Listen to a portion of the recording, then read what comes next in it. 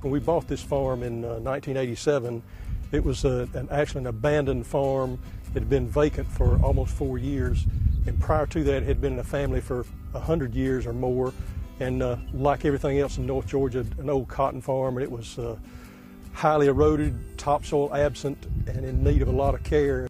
Terry Chandler is a man dedicated to caring for the land. Over the years, Chandler has diligently worked to reverse decades of soil erosion.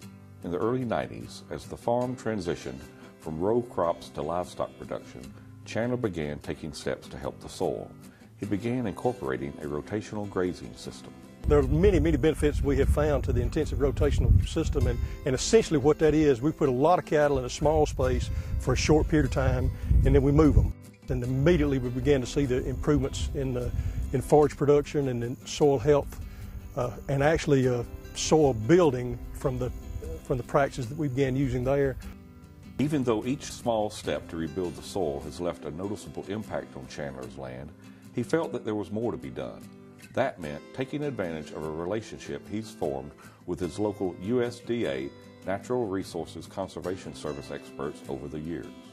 So we recruited all the help we could get, and NRCS has been with us the whole time. NRCS Grazing Land Specialist Philip Brown works throughout the state to help producers like Terry Chandler improve soil health on their land. There's a lot of things already in place here, uh, particularly from a soil health standpoint. We had limited uh, disturbance, we had uh, living roots growing throughout the year, we had uh, good soil cover.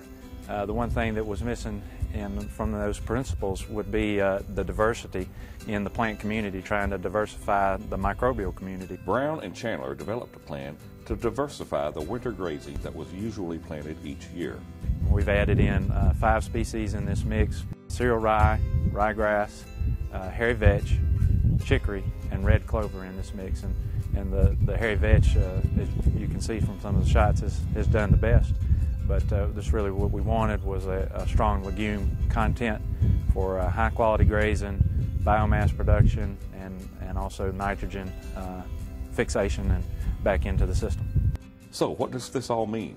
Grazing, grazing days have improved. Forage utilization has improved considerably over open grazing. Although again, we don't try to we don't try to uh, exclusively manage for that. We like to think we get somewhere in the neighborhood of 50% forage utilization, and the rest of it becomes part of the uh, going back to the to the soil. What it means is that we're getting uh, more organic carbon into the soil, which uh, is going to feed a diverse microbial population and that's going to lead to uh, better cycling of nutrients throughout the system, which is going to lead to more profitability and less need for purchased fertility for the producer. Other benefits are evident too.